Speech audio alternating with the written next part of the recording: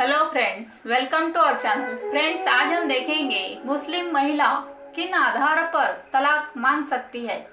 Grounds of divorce in India and Muslim so friends हमारा video अंत तक देखें। लाइक कमेंट शेयर कीजिए। सब्सक्राइब करना न भूलिए।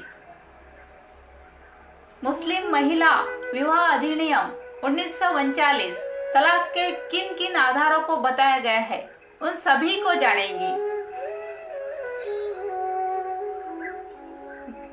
फ़र्स्ट ग्राउंड है अज्ञात स्थान पर चले जाना, जहाँ पति के ठिकाने चार साल की अवधि के लिए पता न हो, इस कंडीशन में पत्नी अपने पति से तलाक ले सकती है।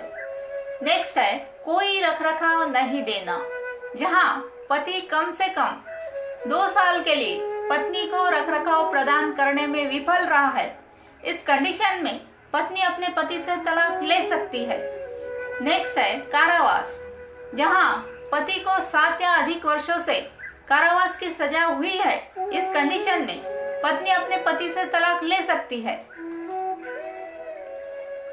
नेक्स्ट है वैवाहिक दायित्व, जहाँ पति वैवाहिक दायित्व को पूरा करने में असमर्थ है।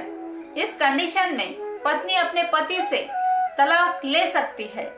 नेक्स्ट है लघु विवाह, जहाँ लड़की की शादी 15 साल की उम्र से पहले हुई हो और वह 18 वर्ष की होने से पहले संबंध खत्म करने का फैसला करती है।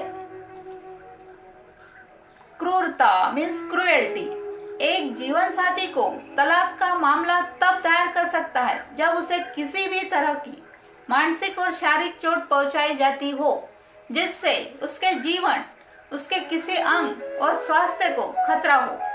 लेकिन क्रूरता की घटनाओं की एक श्रृंखला होनी चाहिए।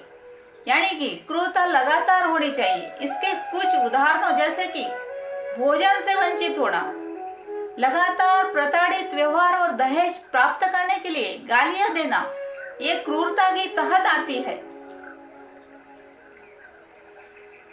Thank you friends